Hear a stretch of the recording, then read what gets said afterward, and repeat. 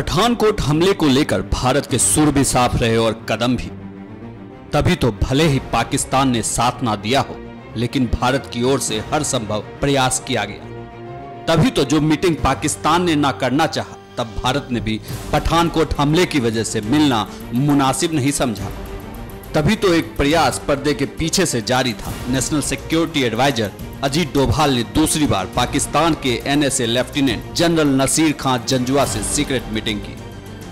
दोनों जनवरी के दूसरे हफ़्ते में पेरिस में मिले थे। इससे पहले 2 जनवरी को पठानकोट हमला हुआ था। बता दें कि डोभाल और जंजुआ बीते साल 6 दिसंबर को भी इसी तरह की मीटिंग बैंकॉक में कर चुके हैं। ओलांद के भारत आने से पहले पेरिस गए थे डोभाल। सूत्रों के अनुसार जब डोभाल और जंजुआ की पेरिस में मुलाकात हुई उससे पहले ही भारत ने पठानकोट हमले में जैसे मोहम्मद का हाथ होने के सबूत जुटा लिए थे। हालाँकि इस मीटिंग को लेकर डोभाल की तरफ़ से कोई रिएक्शन नहीं आया है।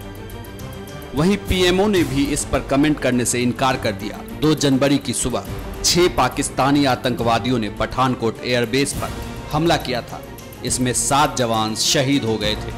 हमले का मास्टरमाइंड जैसे मोहम्मद का चीफ मौलाना मसूद अजहर है।